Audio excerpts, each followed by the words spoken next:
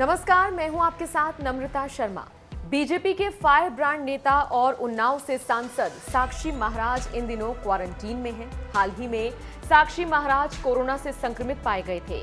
Quarantine period में रहते हुए साक्षी महाराज ने विवादित बयान दे दिया है। दरअसल, साक्षी महाराज ने बकरीद और दिवाली की तुलना करते हुए कह डाला कि अगर बिना बकरे के बकरीद मनेगी, तब बिना पटाखों के दिवाली मन सकती है। फ़िलहाल कोई भी इस पर ज्ञान ना बांटे। दरअसल दिवाली पर आतिशबाजी ना करने संबंधित पोस्ट सोशल मीडिया पर वायरल हो रही हैं। कई राज्यों की सरकारों ने दिवाली पर पटाखों को पूरी तरीके से बैन कर दिया है। इतना ही नहीं, सरकार के इस फैसले पर कई तबकों ने दिल खोलकर स्वागत किया है। लेकिन ये क्या?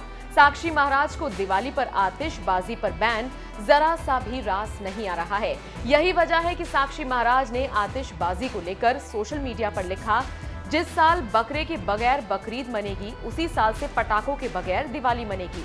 साक्षी महाराज ने कहा, प्रदूषण के नाम पर पटाखों को लेकर कोई ज़्यादा ज्ञान ना बांटे। साक्षी महाराज के इस पोस्ट को काफ़ी शेयर किया जा रहा है। सोशल मीडिया पर उनके इस पोस्ट की खूब चर्चा हो रही है। वैसे आपको बता दें, ये कोई पहली बार नहीं जब साक्षी महाराज ने इस तरह का विवादित बयान दिया हो। बल्कि इससे पहले भी गाहे बगाहे उनकी ज़ुबान से कई ऐसी टिप्पणियाँ निकल ही जाती हैं जिनकी काफ़ी चर्चा होती है। बता दें, हाल ही में बीजेपी सांसद कोरोना से संक्रमित पाए गए थे। इस बात की जानकारी खुद उन्होंने ही दी थी। बीजेपी सांसद ने यह भी बताया था कि वो पिछले काफ़ी वक्त से इसके लक्षण महसूस कर रहे थे। टेस्ट कराया तो कोरोना पॉजिटिव आए।